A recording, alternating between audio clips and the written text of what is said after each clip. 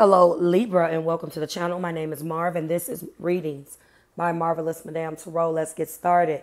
If you are new here with me, hello, hello. If you are returning, welcome back. If you're subscribed to the tribe and what's good, fam bams, hello to my members, you marvelous bunch of people. Let's get started.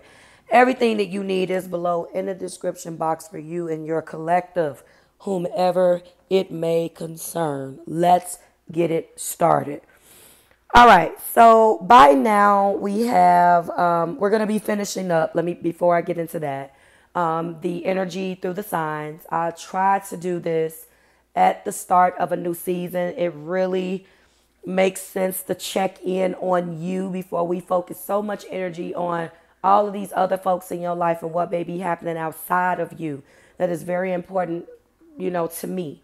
Um, so, you know, to bring that to you. So we're going to be doing it. If it's not your thing, it's not your thing. But, you know, you should want to know what's going on with you. Okay? So, um, everything, again, that you need is below in the description box. We already went over um, this new moon. We're on a couple of days into this new moon in Aries. It's go time. It is the start of an astrological year. Um, despite the Gregorian calendar being 1 1, despite the Chinese New Year, the start of the astrological year when Aries starts. Aries is our first zodiac. So we're starting it, and here we go. All right. So when the new moon landed, um, or when the sun slid into Aries, the new moon follows where the sun is, uh, Libra, as you guys already know, sun, moon, rising, Venus, and this is affecting you in your seventh house. Okay. Um, interestingly enough, this is where a lot of you guys have been dealing with things that you've been dealing with anyway, because, you know, it kind of works out like that. You are a Libra. Venus um, is the ruler of the seventh house. So this could be as to no surprise to you. Um, you probably were already feeling it, like myself as a Libra rising. But let's go ahead and get started. Um, this card that I've already taken the liberty of shuffling off camera uh, for you and your collective is the card of 44, which is woman holding a heart. Um, four is about stability. Uh, double fours, it could be that you are trying to balance work work life balance. Okay, um, it could be a lot of that. Two fours make an eight. Eight brings that energy of quick moving communication. Um, because the first card that I thought of when I thought about the eight, a lot of the times I will give you the tarot card that pops up in my head, and I'm thinking Eight of Wands for you. I'm going to tell you how this played out for me. At the strike of that new moon, somebody reached out to me out the blue trying to help me.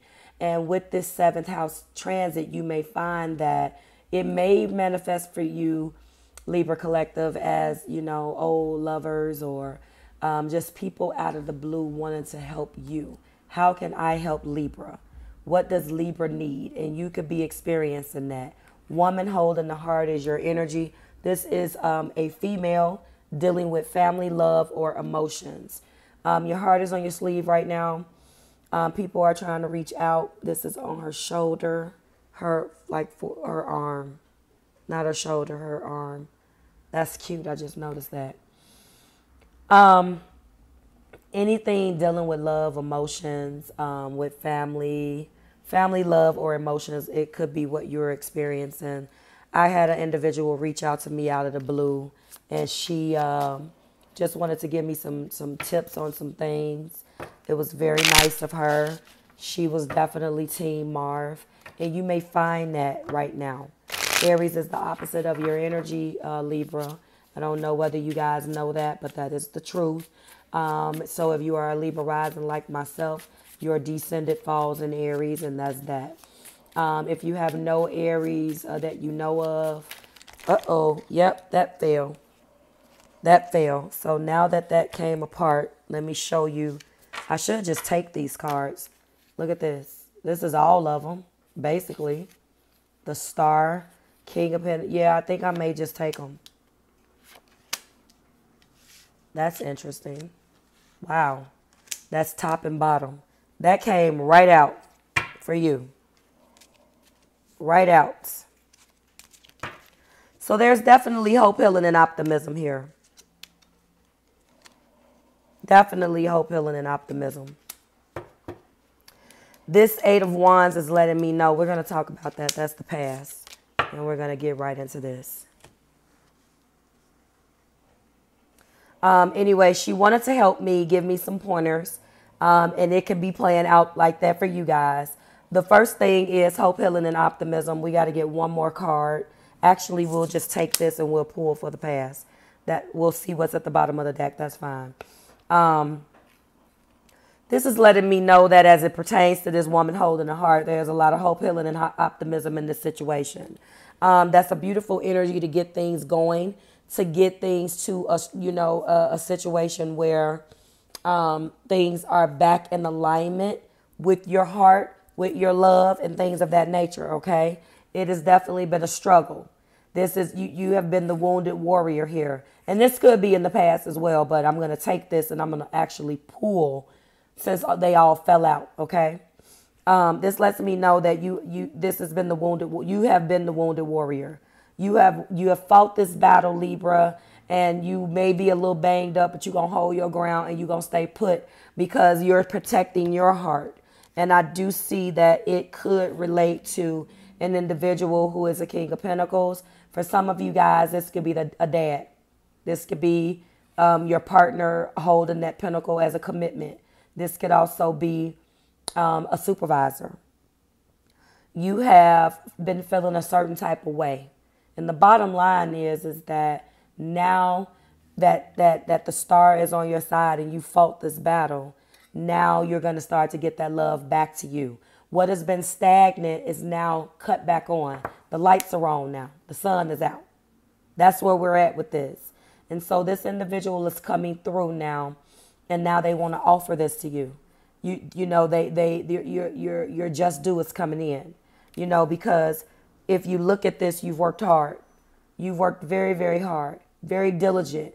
So, and so some of you guys, you worked hard in your job, and now they owe you this money. They owe you a, a, um, a, a um, what am I thinking? Raise, bonus. You've worked hard in your relationships. You're owed the commitment. This person is going to offer you that pentacle now. Realizing that through the past, how hard you've worked, how hard and how much you've been a warrior. And now we got the star on your side. Do you understand? Um, if this just represents an opportunity and there is no relationship, then you bust your ass for it in, in, in, in the past. A bumpy ride, just bruised up. You, you, you've worked very, very hard for this, okay? I'm going to put that down and then we're going to do a shuffle for the past. Typically, I pull it from the bottom, but I'm going to shuffle. Show me something representing the past. We got two. There we go. So we know that this is a relationship. Let's put this back at the top and let's go. In the past, you thought you found your love. This is that person. You had a bond with this individual. Okay? So this is, and again, take these cups, apply it to something that you love something that you love that that you love to do, something that makes you happy. If this is not a person, okay, apply to your business. But now that that the, those ships are coming in, okay, this represents the past. This nine of cups just means that this is what this is something that really excited you, got you off. Like I don't want to sound like that, but I'm just saying it excited you, it made you happy it did it for you. Some of us we have those things. It just this, this, this was just it did it for you, and it could be obviously your happiness, your money. This obviously res- resonates or illustrates a relationship. So for some of you, this is exactly what that is. All right. And again, this storyline definitely is the same. And now this person is coming back in you're holding your heart, you're dealing with love, they're going to be coming back in from the past. I know you get tired of hearing that.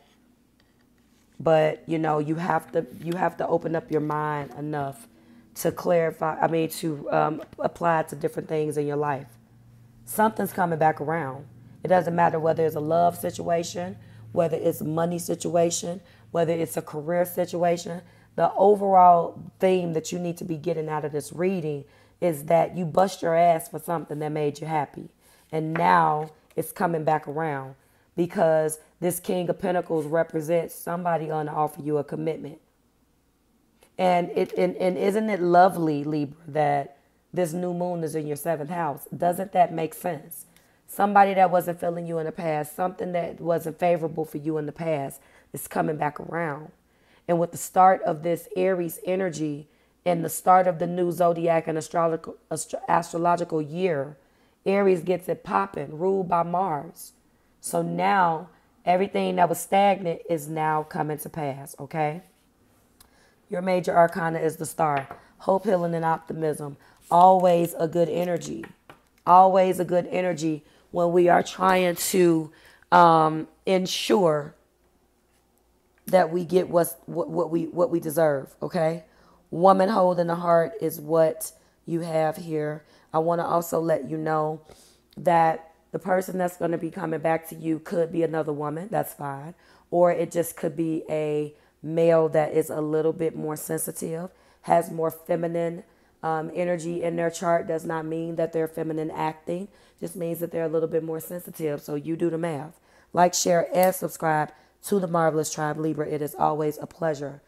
I have been bad at sharing your information on your channel. I am going to try very hard to do that.